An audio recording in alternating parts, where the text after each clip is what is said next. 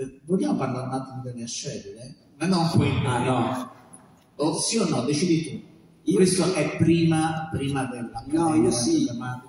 Soltanto che poi mi danneggio, però va bene. Perché no? no? No, No, no, nel senso che per esempio ho fatto da poco una trasmissione televisiva e mi hanno detto, ah, abbiamo gli autori ti chiamano, dice vuoi fare un pezzo spiritoso, un pezzo sapendo che avevo fatto cabaret, hanno visto gli sketch, ah facciamo quello lì, no, quello non si può fare, quella, no, quello non si può fare, cioè non si può fare niente delle ascelle, perché erano tutti sketch sulle, diciamo, eh, le secrezioni del corpo umano, ecco, diciamo, per dire una parola, e quindi inenarrabili. Per fortuna non, spero che non sia rimasta traccia. No, questo è Però era un gruppo che ci siamo divertiti da morire e, e abbiamo fatto anche dei teatri importanti, per esempio a, a- Napoli c'era il San Carluccio, era un teatro dove hanno debuttato anche la Smorfia, eh, anche Benigni, eh, e noi appunto le ascelle siamo andati a fare... Era teatro di strada all'inizio, diciamo, eravamo dei supporter di atletica leggera, perché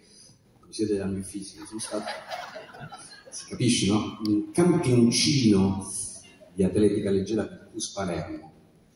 Eh, e quindi con degli amici atleti, mh, ex atleti ormai, andavamo in giro a vedere i mondiali di atletica leggera a Helsinki o a Stoccarda, agli europei, insomma andavamo a fare i supporter della, della nazionale italiana, ma soprattutto perché poi l'atletica ha questo di straordinario, che uno spettatore di atletica, certo, eh, è contento se, no? se il medagliere dell'Italia si arricchisce, eccetera, però veramente vai a vedere l'atleta, cioè vai a vedere di qualunque nazione sia, di qualunque, è proprio un piacere vedere l'uomo dire, che, che- che lotta contro, non contro gli altri, ma contro i propri limiti.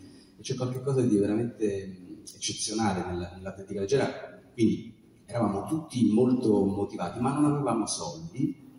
E quindi per andare a fare questi, questi viaggi eh, facevamo, non so se c'è ancora l'Interrail, e ci spostavamo di città in città per raggranellare dei soldi facendo teatro di strada e, e così ho cominciato, diciamo. mentre facevo medicina, non mi sono solo iscritto, in realtà poi ho fatto i primi otto esami, sono arrivato ad, ad anatomia e, e poi là insomma, sono entrato in accademia. l'hai lasciato. Senti, eh, io ovviamente non ho preparato una traccia, perché non sono capace di preparare una traccia. Eh, hai detto una cosa importante sugli atleti.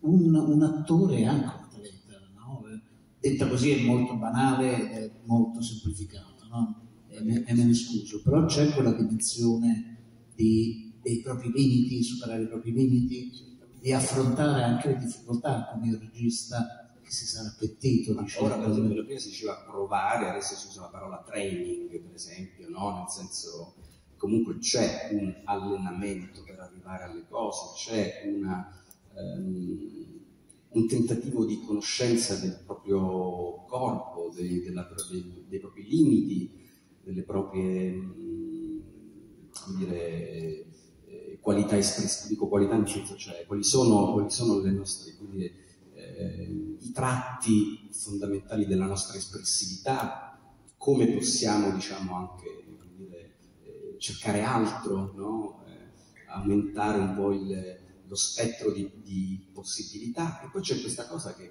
io eh, facevo atletica negli anni in cui, non so per chi ha seguito l'atletica, c'era un grandissimo atleta che si chiamava Antibo, Totò Antibo, per cui palermitano anche lui di Altofonte, e c'era questo allenatore che si chiamava Gaspare Polizzi, e tutti i palermitani, i ragazzini volevano fare mezzo fondo perché per, per spirito di emulazione nei confronti di Antibo. Eravamo veramente talmente tanti che magari io vincevo le gare nella mia scuola, nel distretto, eh, però poi già alle comunali non ero che pur di fare le trasferte, eh, invece di fare mezzo fondo ho fatto salto in lungo e salto triplo. Non mi rialzo in piedi, ma potete capire cosa significa fare salto triplo con un fisico come il mio.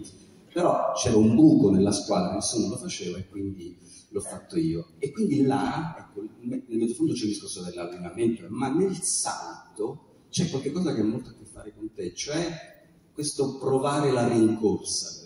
Cioè il momento in cui tu diciamo, registri i passi, li conti, vedi dove devi staccare e poi c'è il volo, c'è il momento in cui la cosa la fai ed è senza protezione. Questo somiglia molto al rapporto che c'è tra preparazione di un personaggio sì, e poi in realtà il momento in cui sei sul set, soprattutto nel cinema è così